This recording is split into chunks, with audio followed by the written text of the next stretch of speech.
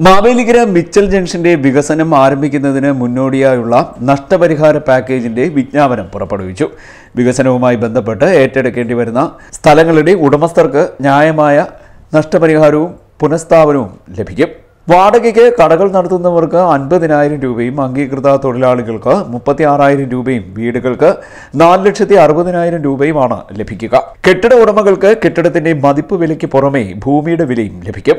മാവേലിക്കര വില്ലേജിൽ ഇരുപത് ഇരുപത്തിയൊന്ന് അൻപത്തിനാല് അൻപത്തിയഞ്ച് അറുപത്തിയാറ് അറുപത്തിയേഴ് ബ്ലോക്കുകളിലെ വിവിധ സർവേ നമ്പറുകളിൽപ്പെട്ട അൻപത്തിയേഴ് ദശാംശം പൂജ്യം എട്ട് ആറ് ഭൂമിയാണ് വികസനത്തിനായി സംസ്ഥാന സർക്കാർ ഏറ്റെടുക്കുന്നത്. നൂറ്റി പതിനഞ്ച് പുരയിടങ്ങളും മൂന്ന് പുറമ്പോക്കുകളും ഏറ്റെടുക്കേണ്ടി വരും. അതേസമയം കെട്ടിട ഉടമകളും സ്ഥാപനങ്ങൾ നടത്തുന്നവരും തൊഴിലാളികളും ഉൾപ്പെടെ എൺപത്തിനാല് പേരാണ് നഷ്ടപരിഹാരത്തിന് അർഹരായി കരട് പട്ടികയിൽ ഉൾപ്പെട്ടിട്ടുള്ളത്. C D net news Mavelikkara.